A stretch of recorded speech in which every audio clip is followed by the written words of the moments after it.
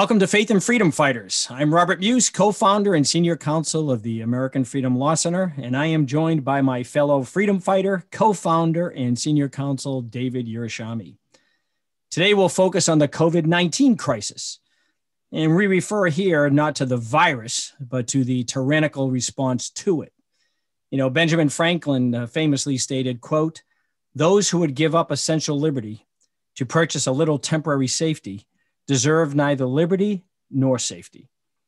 You know, we were all told early on that these draconian restrictions on our liberty were necessary to reduce hospitalizations and to flatten the curve.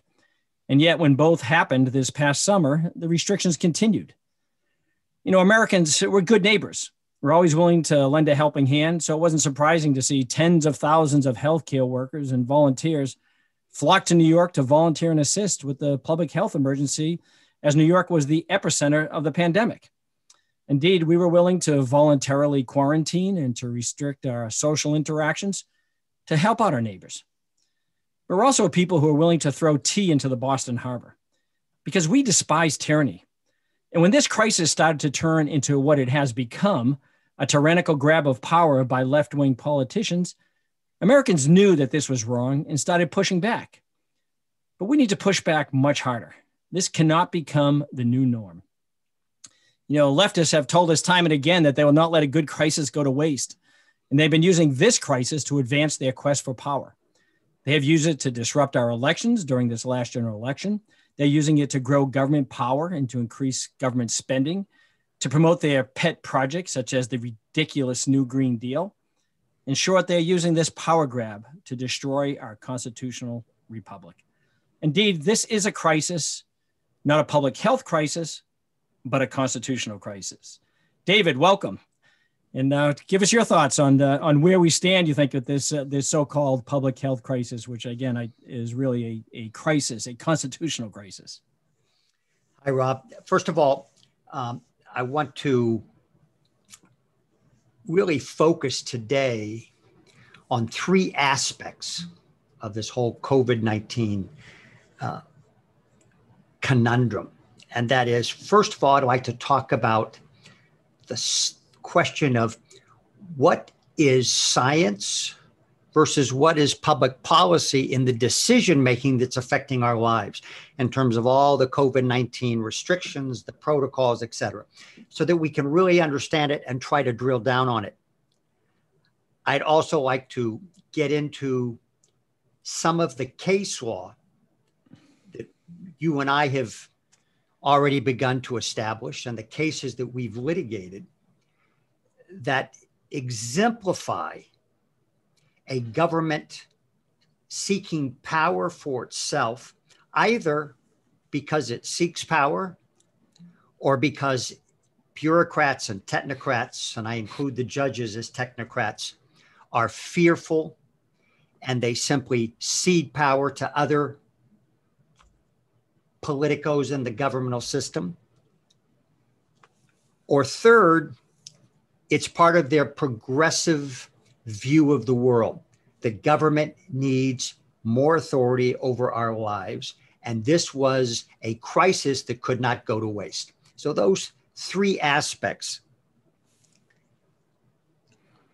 One of the things that I hope we can also do, not on this program because it'll require too much, is to put the COVID 19 crisis in the context of Russiagate and the Obama administration's efforts to one, delegitimize the candidate, Donald Trump, and then ultimately to plant the seeds of a destructive effort by the government, bureaucrats, and the other aspects of government to undermine Donald Trump's administration.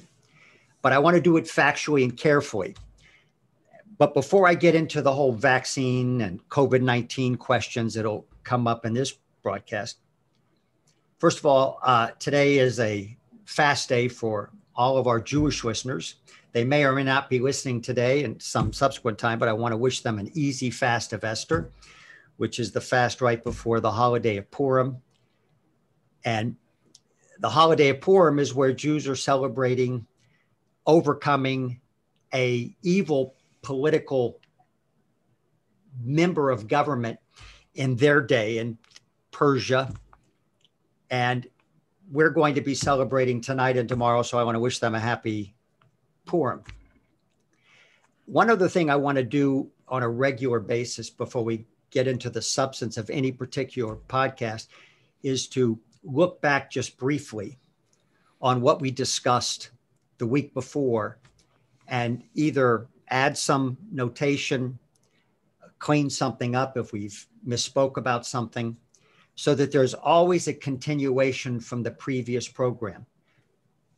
Because as conservatives, we appreciate the past and we look at the past realistically and factually. We don't, as progressives tend to do, want to either dismiss the past or entirely recalibrate the past as something evil. So, first of all, I want to make note that we talked a little bit about ourselves and how we got together. And we focused, or said we wanted to focus on the fact that individuals, either those of us on the conservative side of political questions, or even conservative versus the more liberal side of the political questions, can have different views of the world, disagree on even their understanding of what the facts are, much less the consequences of those facts, and still be civil. And we noted that you and I come from very different backgrounds. You're an Orthodox Catholic, 12 children. I'm an Orthodox Jew, two children, uh, not by design, but by God's hand. And you and I agree on a lot, but we also have different perspectives and even disagree on enough. Yet our discourse, our conversations are always civil, and we would like to think rational, even though we can still reasonably disagree with one another. One other note that I want to make that I think makes that special, and I'll kind of let you chime in and then we'll get into the COVID question, is that notwithstanding the radically different backgrounds that you and I have, your whole family is Marines, you know, your father, your uncle, uh, others before them, some brothers, I understand. Um, your your wife is the wife of a Marine, um, and you weren't just a Marine. I don't want to say just a Marine, but you were a combat officer, first Iraq War, and I come from a very Jewish background, um, very kind of, if I can say, intellectual family. Um, none of my brothers or sisters or or uh, others were um, in the Marines. My father served in the Air Force, but that was in a time when everybody served. And even though we have this incredible different view of the world and come from a different culture, I've said this to others, and I'll say it on this podcast if I were in a firefight, either a literal firefight or a legal firefight or any other kind of firefight in a foxhole, there is no one that I know and no one in my life that I would rather have guarding my back than Robert J. Muise. And that's a very powerful statement for someone like me in my world a kind of insular Orthodox Jewish world to say, but I say it unqualifiedly. So, as we go through the podcast and discussions going forward, people need to realize that you might disagree with what we have to say, but it ought not to engender an emotional animosity. It can engender emotion, but it shouldn't drive one to get angry at us it should drive one to think deeply about what they believe in and see either where we're wrong or they're wrong and understand that intellectually.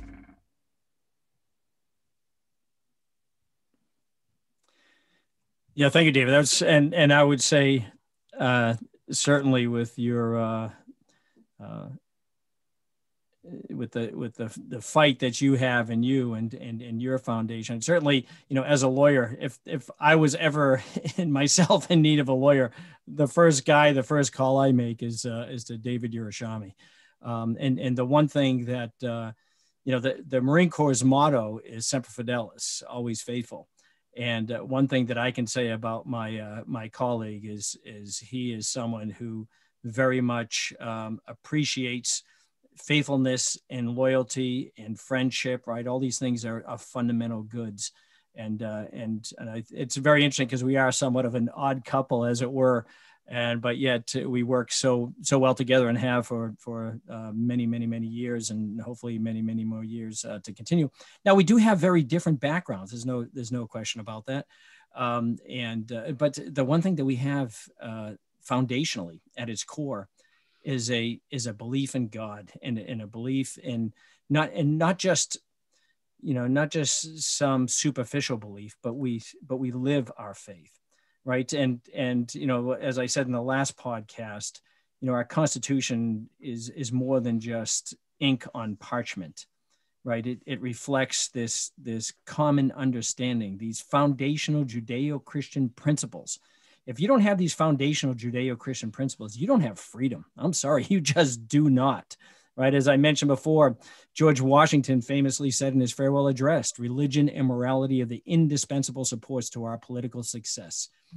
And we see with these left-wing tyrants, they're godless. The left is godless. Anybody, all you have to do is look at their their policies. Their policies are godless positions. Liberalism inevitably leads to tyranny and with the foundation Judeo Christian values, which we try to promote in our individual lives with our families, but through the work we do, including in this is podcast, which I'd like to think is is kind of a dimension that we are going to add to this political discourse more so than than others who have podcasts who might just look at it from a legal side or from a political side. We have the legal, we have the political, but we have the faith side, the religious side, which is quite frankly is the most important component of this entire argument of this uh, entire discussion. Without it, it's no longer intellectual, right? It's it just becomes this Hobbesian, you know, might might makes right. So if you're the person in power, you're the one who determines what is morality, right? Because you you've now become your own god. That's what the left wants. That's what the liberal wants is to become their own god, rather than recognizing that we have one true God. And I think that you know the two of us we acknowledge that our Judeo-Christian values are the foundation to freedom and that everything we do. So while our our cultural and upbringing and everything else might be uh, certainly very very different at our at the core, you and I share the most important um, aspect of all that, and that is our our belief in a in a God. Absolutely. So let's jump in now to the question of COVID 19, all of the restrictions that have been imposed upon us and by governments around the world. And then hopefully we'll still have time to slide into the question of the vaccine and the vaccination programs and issues that are going to come up. One of the things that we've heard over and over and over again and it was a critique of Donald Trump. In fact, it's a critique of every conservative by the left. Is conservatives deny science or ignore it, and we progressives we listen to science, we respect science. The classic line is follow the science, right? So, all these protocols, these restrictions, social distancing, shutting down of businesses, enforced mask wearing. All of these various conclusions or policies are driven, we're told, by science. And of course, Fauci and the rest of these individuals are paraded as scientific experts. By the way, even on the other side of the coin, you will find doctors um, and others claiming to be scientists who criticize the protocols. They're tend, they tend to be silenced by the left and big tech. And people on the other side of the coin will hold them up as you see, I have my experts.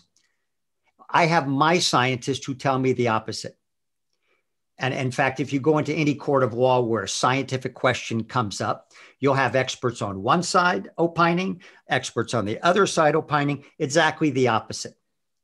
So, what is it that we mean when we say science or follow the science? Now, let me just say parenthetically quickly that when the left says follow the science, they can either actually mean it, in other words, they worship science.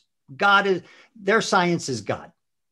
Or they don't really mean it and they're simply using that as a camouflage to do what they want to do in the name of science. So I'm going to lump them both together for now. But let's just now think what is science?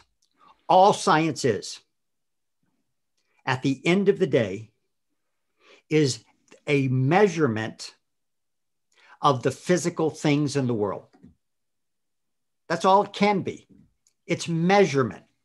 Now, there's things like the scientific process, experimentation, and how that's done. But all that goes to measurement. All science can do as a truth statement is tell us that within a certain degree of probability, this is the measurement that we've taken. That's it. Now, science has adopted the view that once enough scientists have measured and replicated the same thing over and over and over again, they can reach a scientific consensus. But all that is, is a kind of informal vote by some group of scientists. It's never clear exactly which group and how many scientists make a scientific consensus. But that consensus is never an actual truth. It can only be a assumption by scientists or a conclusion by scientists that the following measured facts allow us to make certain statements about causation, about the past, about the future. So, for example, let's just bring it down to actual example. Scientists can measure things like atmospheric temperature, snow melt, tree rings, radioactivity decay. They can do all of that.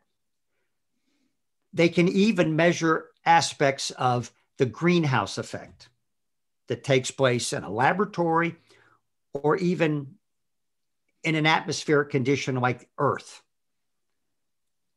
But what they can't know after they've measured various things is that we are actually undergoing global warming from the industrial age because they were never in the industrial age to measure it. And they're making certain scientific consensus decisions about what the facts that they measure today, how they relate back to an unknown past, and even more speculatively, how they relate to an unknown future. Now, they might be right about the past and the future, but it isn't a truism. And we know that because scientists have articulated all sorts of consensus opinions that they've later said were wrong. So that's science, as it were, qua science. It measures things, that's all it does. Now, let's now relate that to COVID 19.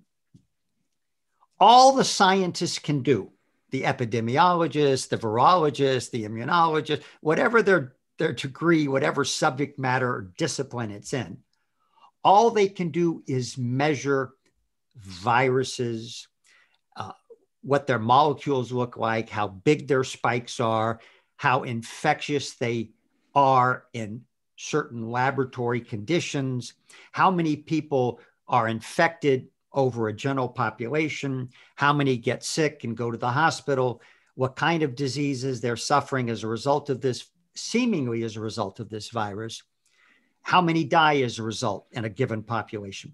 That is all they can do.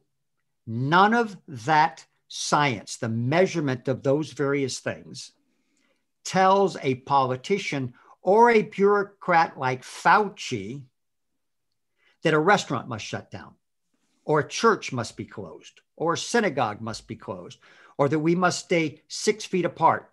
Those are policy decisions made by bureaucrats and technocrats and politicians based upon what scientists tell them the facts are. But the scientists themselves can't make a better risk assessment than anyone else. So, for example, if scientists tell us that COVID 19 is going to infect X number of people in a population of 100, and of that number, Y percent are going to be admitted to a hospital, and Z percent are going to die. That doesn't tell us that that risk is worth the societal cost of shutting down an entire economy or engaging in any other kind of restriction.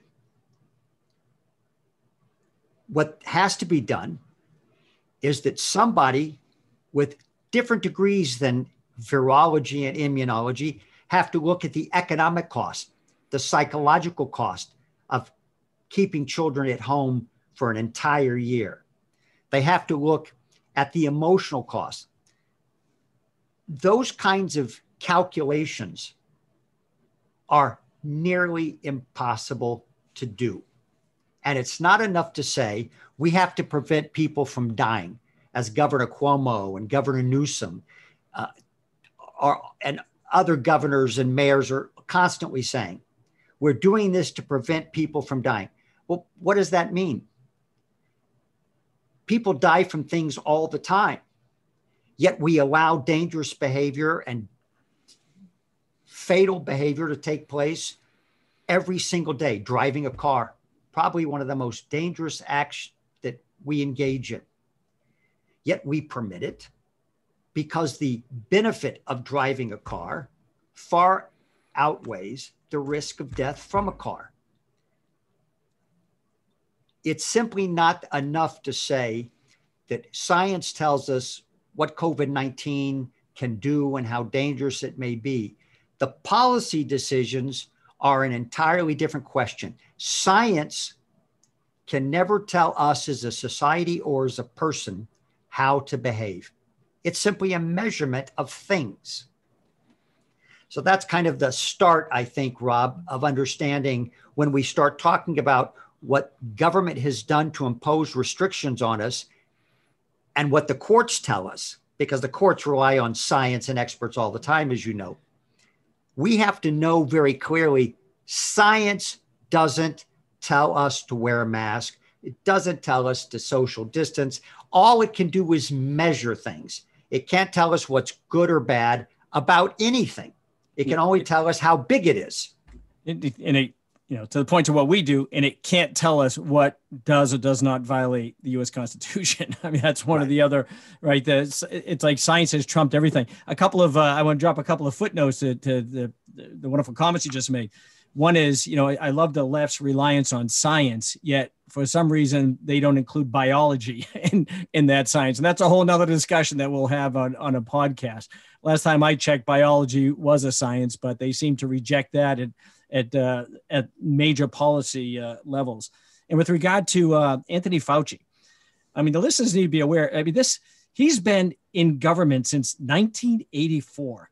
37 years as a government bureaucrat. And oh, by the way, and I happen to see this in a uh, article published in uh, Forbes in, in January of this year, he happens to be the highest paid federal government employee. He gets paid more than the president of the United States as a base salary.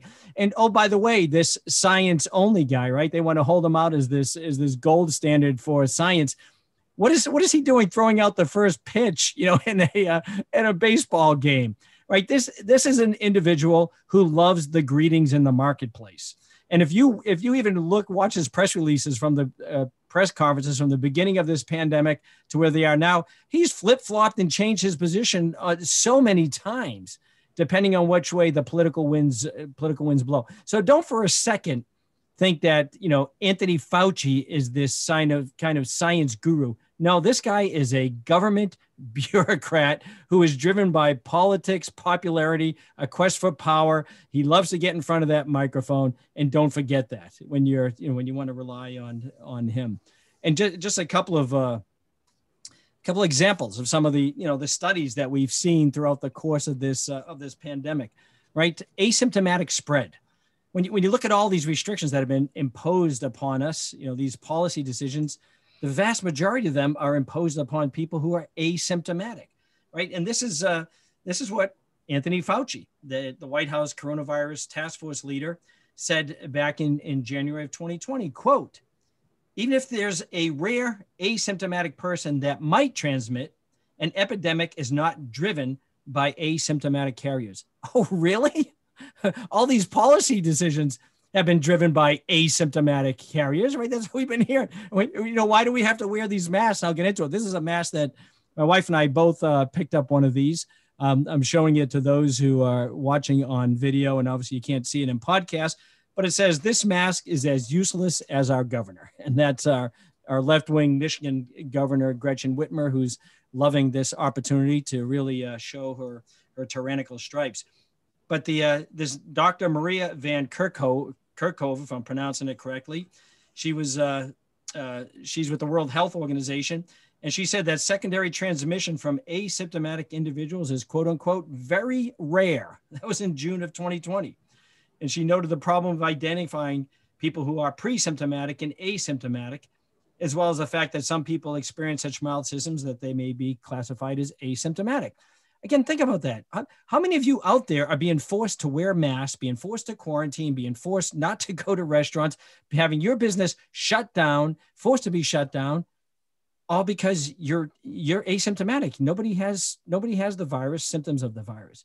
But yet, this is Fauci and the World Health, uh, the health organization. You know, from the very beginning, in this uh, when this uh, the pandemic started. So it's yeah, it, this has been so politicized and uh, you know, the, and the mask issue too is uh, is very interesting. And if I if I may, David, I got a couple of uh, points I'd like to make on on that while I'm talking about some of these studies. This was a study that was posted on the Centers for Disease Control website in May of 2020, and it concludes, and I'm going to quote: "This is a conclusion from this."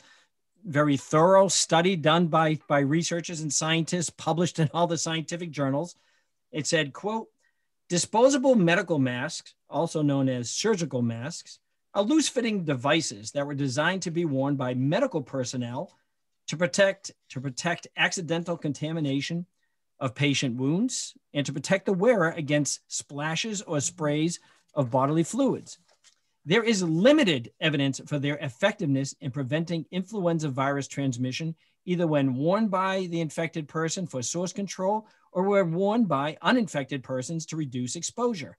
Our systematic review found no significant effect of masks on transmissions of laboratory confirmed influenza. End quote.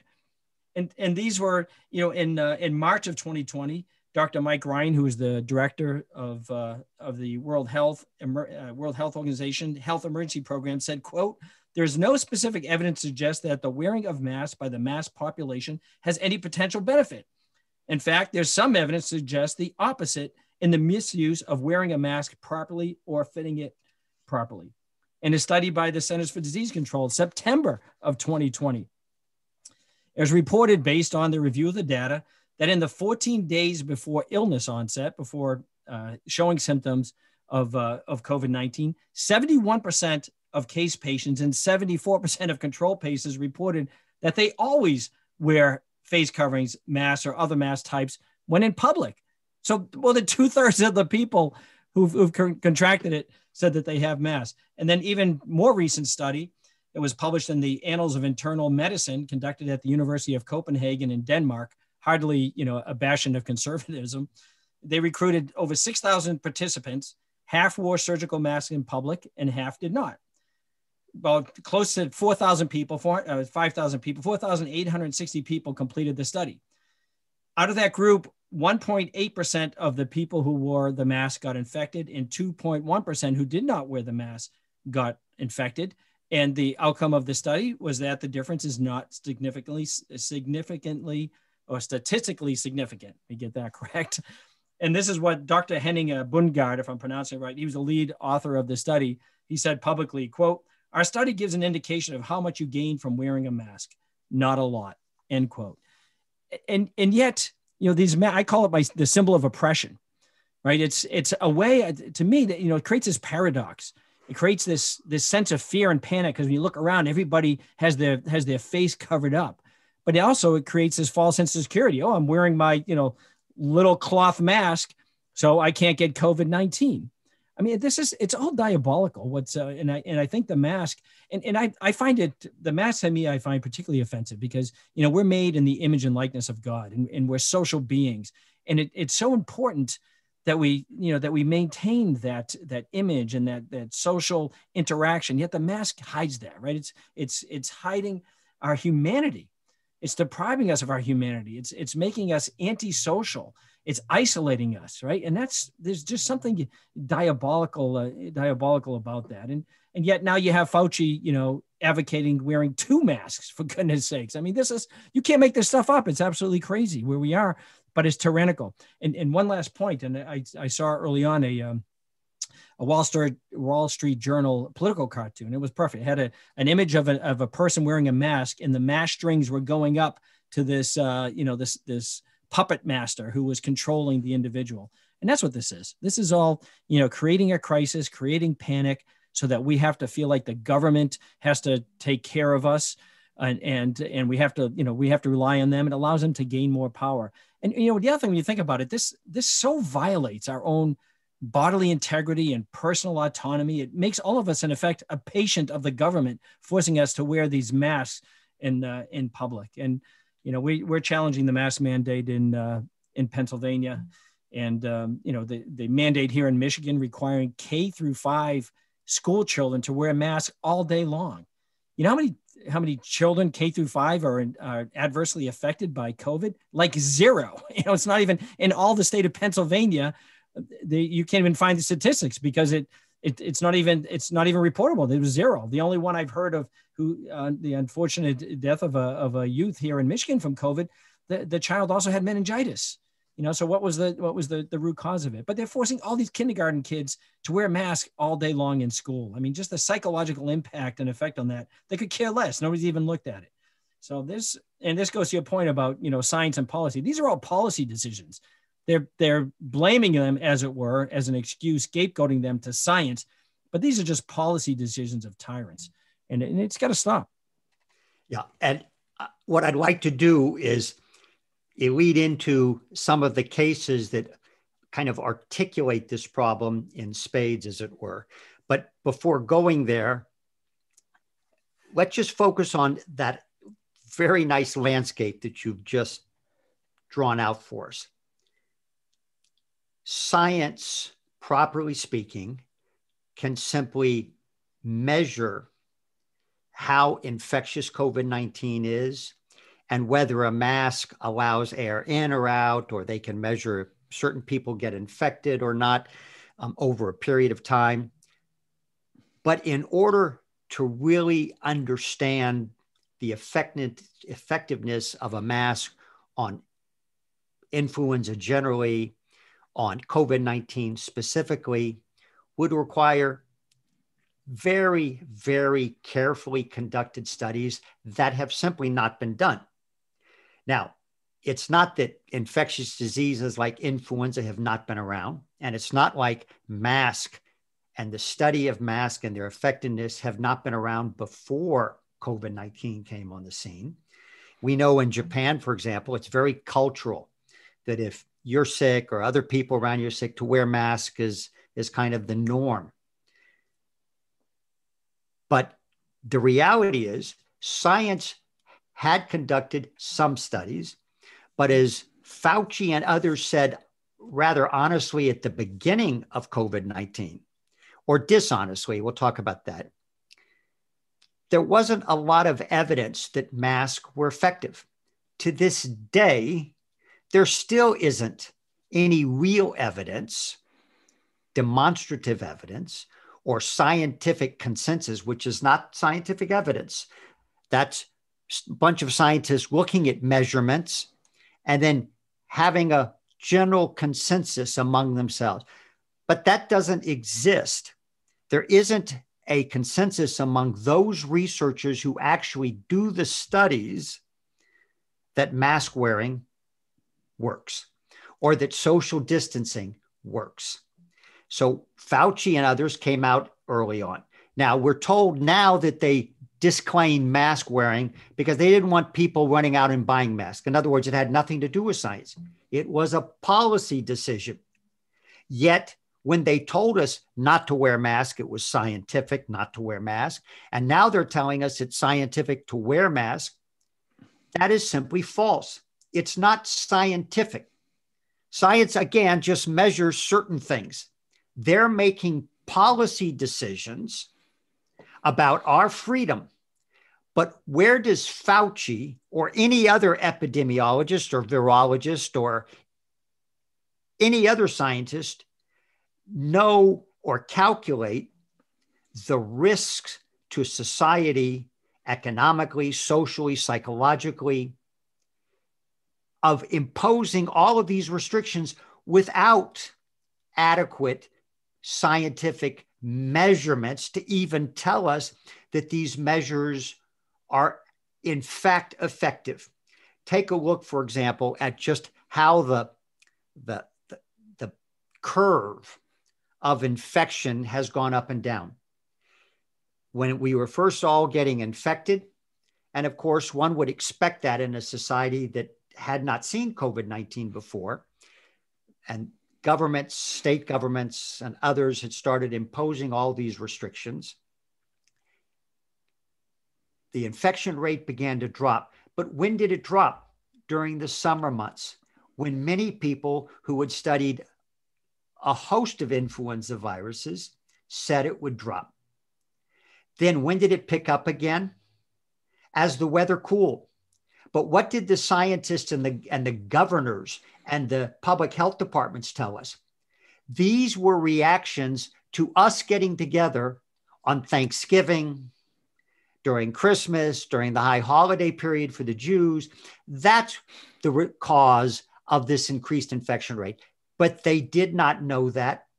And in fact, you could just as likely have collated all of those infections to the weather change.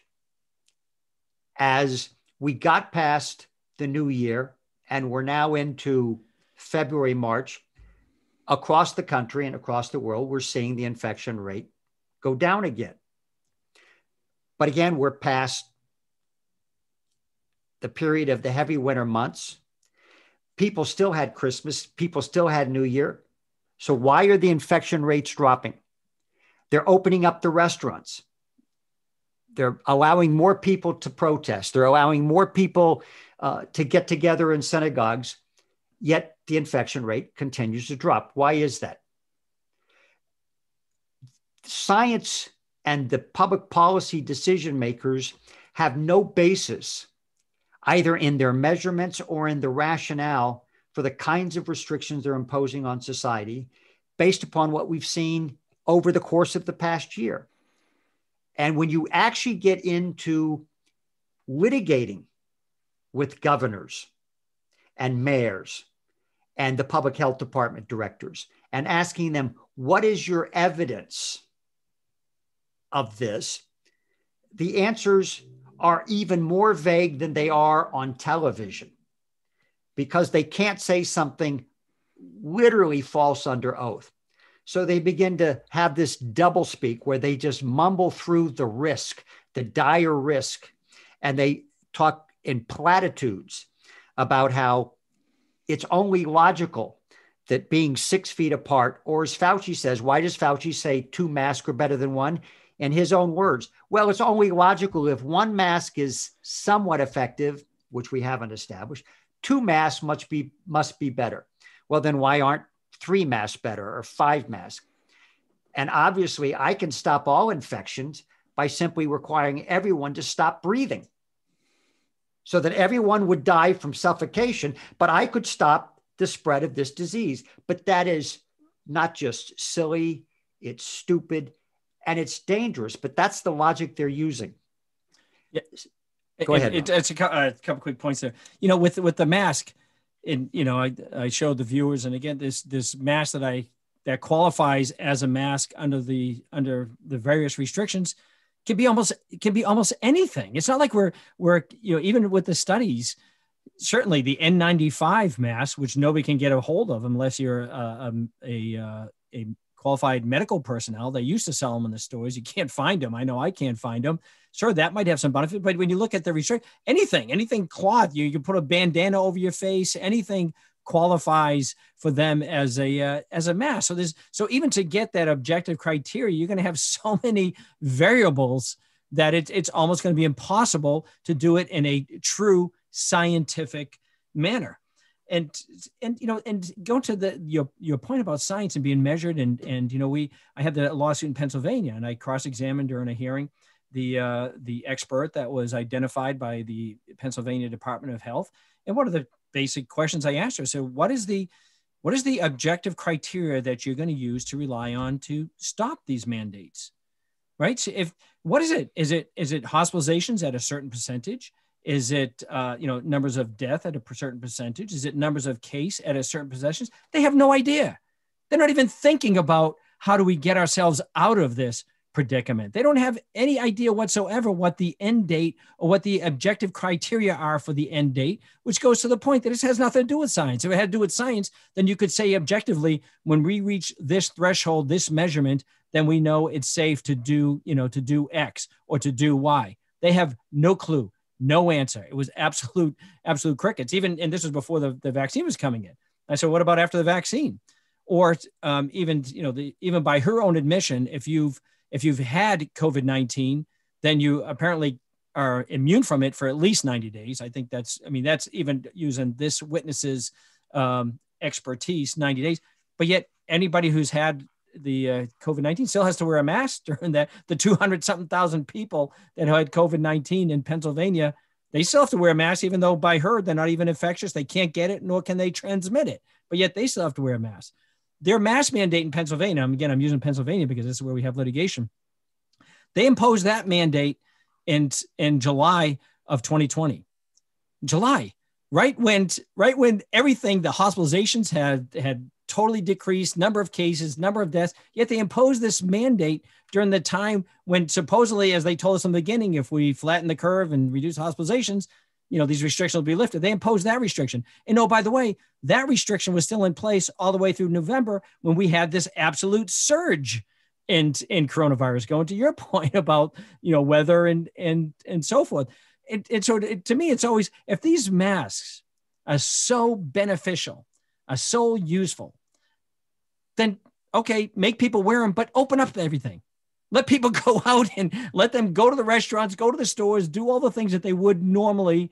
Um, just you know, when you're interacting with people wear masks, but they're not doing that. So it's it's it, it doesn't even make sense from a from a policy perspective. But going back to the original point, when I try when I try to nail them down to what is the objective criteria, you know, what's your scientific criteria? What's your data that you're using to end these restrictions that you've imposed on us?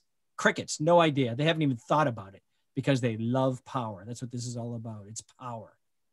Well, and I would I would make the additional point, and I think that's absolutely right about power, is that there's a confusion about what science can say and what it can't say. Mm-hmm. All science can do is measure. It can't have, there's no scientific criteria for when you stop wearing masks or you stop social distancing because there's no scientific criteria for when you do wear masks. Because again, all science does is measure, presumably some level of certainty about the effectiveness of mask wearing.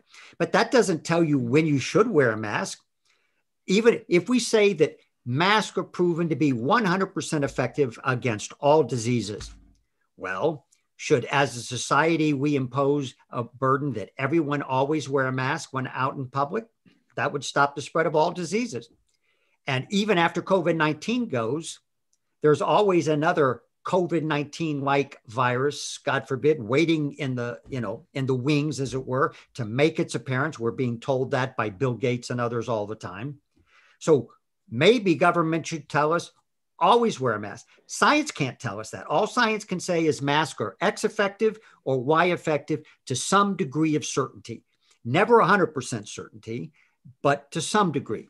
That's all it can tell us. So it's no surprise that an expert doesn't have a scientific criteria. All an expert can do is talk about the measurement of mass. A policy person, a public policy technocrat or bureaucrat, and we use that those terms just so everyone understands. A bureaucrat is someone who works in government who just kind of does ministerial clerical work over and over and over again. A technocrat is a bureaucrat who has some kind of expertise, scientific, legal, or what have you. But they're the same animal they themselves are making policy decisions and informing politicians who impose their restrictions or their edicts, but it's not based on science. It might utilize scientific measurements, but they're making calculations about risk that they're not prepared to tell us about. And that's what Rob's litigation in Philadelphia showed. When you ask them, okay, what are your policy criteria? And what is that based on? What is your calculation? How much damage are you prepared to do the economy to save how many people? Please tell us that. They don't have any idea. They haven't done that. They're just throwing these restrictions out literally from the hip. They don't have any actual criteria that they can talk about. They just all sit around and have a consensus about how much power they want to absorb on any given day.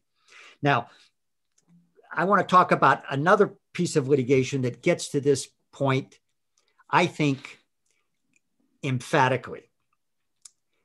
We represent a woman in Manhattan, Pamela Geller. She's has a certain notoriety of being a, uh, the individual who really began the groundswell of opposition to what was called the Ground Zero Mosque, the mosque they wanted to build on the place of the 9 11 bombing. And she's been a free speech advocate on many issues. And we've represented her successfully in court across the country, uh, especially on transit advertisement space, when she's want to run an ad pro Israel against the Palestinian terrorists, against terrorists generally. And the transit authorities try to shut her down. And we've sued and, in the main, been very successful. And even when we're not successful in court, the result is the transit authorities stop allowing any kind of issue advertise oriented advertisements, which is a good thing in our viewpoint from our perspective. But Pamela Geller wanted to protest in New York City, especially in City Hall, but throughout. But there was a governor Cuomo edict, executive order, and a Mayor de Blasio executive order that said you can't protest at all unless you're a single individual, but you can't form groups and have any kind of public activity, even though they allowed all sorts of other public activity. We sued, and uh, eventually that restriction was lessened to be 10 people, then 25 people, then ultimately 50 people the judge ruled that that restriction was perfectly legitimate, even though it violated Pamela Geller's First Amendment rights, because when facing something as terrible as COVID 19, the courts must shut their eyes to any kind of real analysis of why the restrictions were imposed in the first place. And they relied on a very old case that came about at the turn of the last century. We appealed that decision, and during the interim, Black Lives Matter burst onto the scene after the George Floyd death. And Governor Cuomo and Mayor de Blasio were on TV, on radio, embracing the protesters, embracing their message, embracing their right to protest, but saying, please don't be violent and abide by our curfew. And if you can, you know, wear your mask, stay six feet apart. But in fact, what did we see? We saw police chiefs of New York City. We saw Mayor de Blasio literally participate in the Black Lives Matter protest without a mask, no social distancing, and in violation of the 25 person limit or the 50 person limit, whatever it was at the time. It was always changing.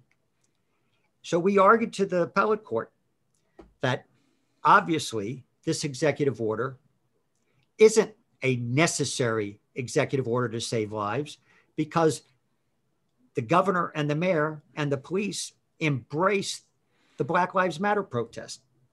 The court said, well, you're going to have to refile your lawsuit to allege all of those facts about the Black Lives Matter protest. So we did. We dismissed the appeal, we we filed a new complaint, and we allege that the Black Lives Matter protest and the embrace of those protests by the governor, by the mayor, by the police illustrates expressly that the restriction on free speech rights cannot be a necessary prohibition that violates free speech in support of a compelling state interest. Because if it were, they would impose it on the Black Lives Matter. We lose in the trial court and we appeal again to the Second Circuit Court of Appeals of covers New York State. And guess what Governor Cuomo and Mayor de Blasio say? In response to the judge's very, very harsh questioning. How do you prevent Ms. Geller from protesting and allow Black Lives Matters to protest? Their response was, Governor Cuomo, well, I'm not going to enforce the my executive order against Ms. Geller. I leave that up to the city. So the judges turned to the city defendants and asked their lawyers, well, are you going to enforce this against Miss Geller? And their answer a day later in writing was no, we're not going to enforce it. In other words, we're going to impose a restriction on free speech rights that we're not going to enforce against the Black Lives Matter protesters. And now we tell the courts we're not even going to enforce that restriction against Miss Geller because she sued us in federal court. But against everybody else, we still want to prevent them from having and exercising their free speech rights. Now, to anyone with any kind of rational thought, that would be an impossible position to maintain. You can't say that the executive order is necessary to stop the spread of a deadly disease, but say you're going to allow Black Lives Matter protesters and Miss Geller because she sued us.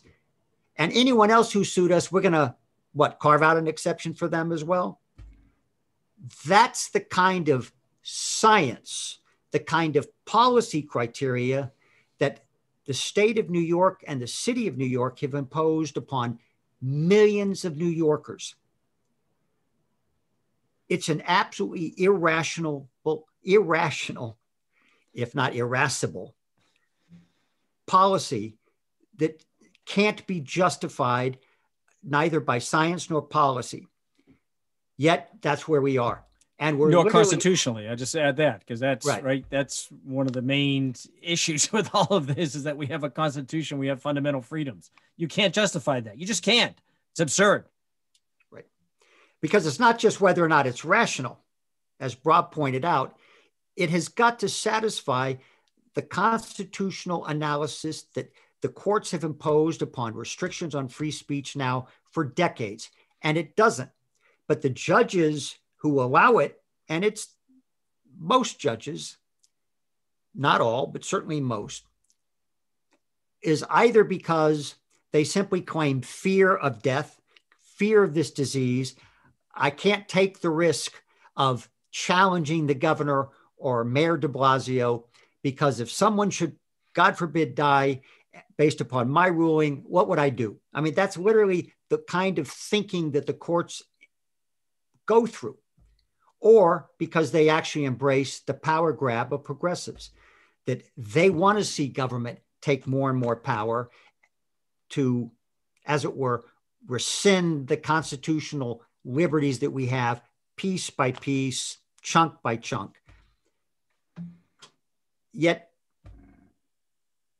it it takes place every day.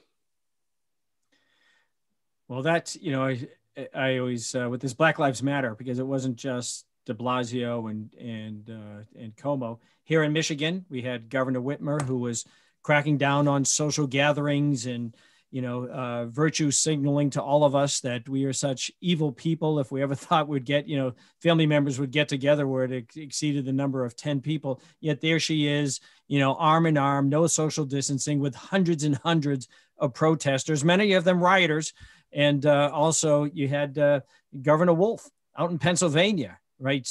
The uh, condemning anyone who would dare violate his order. They're going to, you know, cause deaths. He had hundreds, if not thousands, of people marching in Harrisburg, and there's there's uh, Governor Wolf arm in arm, right? It's it was interesting. I always said if you you know apparently the way to end a pandemic is you have a riot, right? That's but yet you know, and and even you know, continue that Black Lives Matter riots that happened all summer long, attacking federal buildings, and yet you see the way um, a handful of people are vilified because of what happened at the uh, at the Capitol. But hey, uh, David, I think this is probably a, a good point to uh, to wrap up this podcast. That's a great case. I've, there's more to cover, and I think perhaps the beginning, the next one, we pick up where we left off with some of the uh, some of the other cases dealing with the COVID issue, because all of this, you know, all of this uh, ties into the the main issue, right? We call ourselves the uh, you know faith and freedom fighters because it is we're fighting for freedom, and at the core is the is the question of of our of our faith. And these tyrannical bureaucrats, they want to be God. They're imposing these restrictions on our freedoms, on our liberties. Um, and and we have to fight back. I mean, that's that's the uh, the bottom the bottom line. And uh, you know, we need to fight back harder um, you know, anyone who's listening to this podcast, we need to we need to push back on these on these government restrictions so they don't even come close to being our our new norm. So, Unfortunately, I think that's all the time we have today. We, we do look forward to our next uh, discussion. We thank all of you who've spent the time to, to join us and to listen. Uh, please know that we will continue our relentless fight for faith and freedom. And may God bless you and may He continue to bless America. Amen. Thank you, Rob. Thank you.